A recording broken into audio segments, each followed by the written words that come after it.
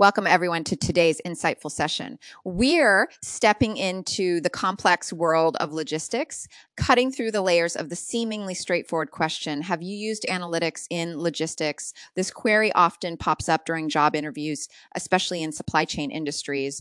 Yes, the interviewer wants to know about your hands on experience with data analytics in logistics, but there's a lot more depth to this question than it lets on.